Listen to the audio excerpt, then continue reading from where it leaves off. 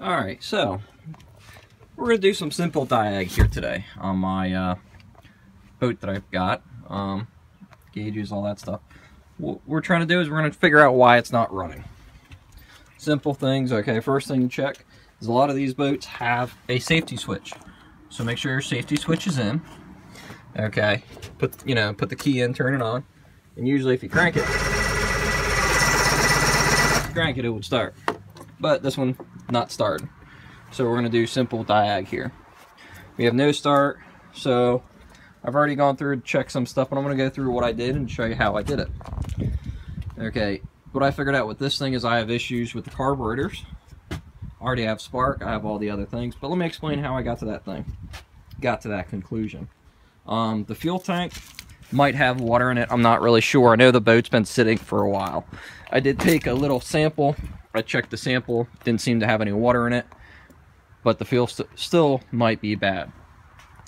So the best thing to do there in that case is to try running it on an auxiliary tank. What you could do is you could figure out where the fuel comes in. Let me get some light here, get some more light. Uh, see if that's a little bit better. Okay figure out where the fuel comes in. Fuel comes in here, you can disconnect this line here, run to a auxiliary tank, and try running it. I'm going to assume with this guy it's probably a carburetor issue because I know the boat's been sitting for a long time. So for the 15 bucks per carburetor, I'm just going to rebuild it because their kits are cheap. Um, might as well take it apart. I, I was told from the guy that I got the boat from that he was out running it and it had issues.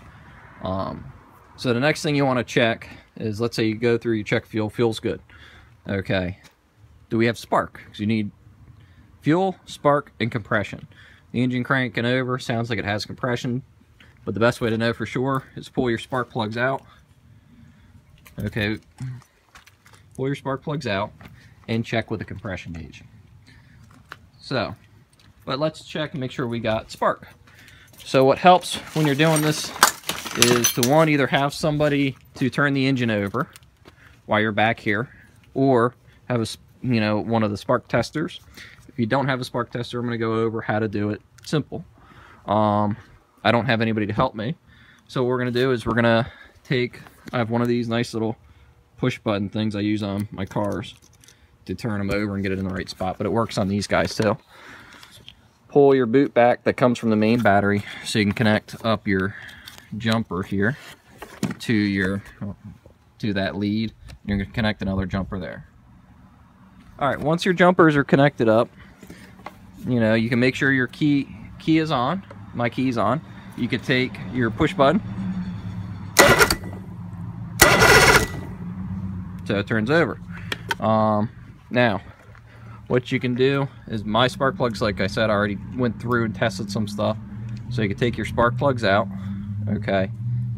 Pull them out. And yes I know there's I put oil in the cylinders because I know the engine was sitting for a while before I turned it over just as a precautionary to make sure the cylinders have some lubrication in them but as you can see these spark plugs are now oil fouled um, if you have oil fouled spark plugs like that what I found to actually work is you can take um, some starting fluid that does not have um, lubricant in it just plain old regular starting fluid and use that to clean a oil fouled plug. So that way you can test with it and try running it. So especially if you have a lot of oil in your cylinders they're going to keep fouling until you get it blown out. Do, do, do, do, do. unscrew unscrew unscrew. Okay. So you can see all my plugs are oil fouled none of these spark plugs would run it anyway. So that could be part of your issue if you can't get it running. If it's been winterized heavily you do you can get oil fouled spark plugs that way Alright, so I want to show you guys here what you can do. Take one of your spark plugs, you can put it in the boot. Okay, just grab the top boot, grab this one of my spark plugs and just ground it out. And watch because you may shock yourself. As you can see, you get spark. So that's how to check for simple, easy way for spark if you don't have any tools. Um, so if you know you got spark on your cylinders, you got compression, all you're missing is fuel, it should run. So that's just a quick, easy way of troubleshooting it. Okay, on this uh, Johnson 130, I decided I was going to pull the carburetors. You're going to need some basic tools. You're going to need two sockets, okay? One one is a half inch, and the other one is a 7 16 Yeah, need half inch and 7 16 So you got four on each carb stack. Each carb stack is two carburetors. You got two nuts, and you got two bolts, okay? Um, you're to have to on this one, I had to take off the left-hand side or driver side, well, driver side for say like in a car. Okay, I had to pull the nuts off and the bolts off so I could pull the carburetor loose so then I can get in there and get the other ones off, the inboard nuts on the other side. Okay, once you pull off all them, pull off the four, your carburetor comes loose. Um, then you could I probably should have disconnected my fuel line first, but you got one fuel line right there to disconnect, and you could pull off your carburetors to be able to go through and reseal them. And it looks like somebody's been into these before. I got one screw right there that is partially backed out. And that may have happened with vibration. Who knows? I, I don't I don't know what to think. So it looks like the other screws are stripped out a little bit. So maybe the, the previous owner of this that I got it from tried taking them apart, couldn't get them apart, who knows. I got seal kits for them so I could take them apart and hopefully I can get out all the screws to get them apart. But while you got it apart, you can also take a look at your reeds on each cylinder. Just take a look with a light. Make sure none of your reeds are busted.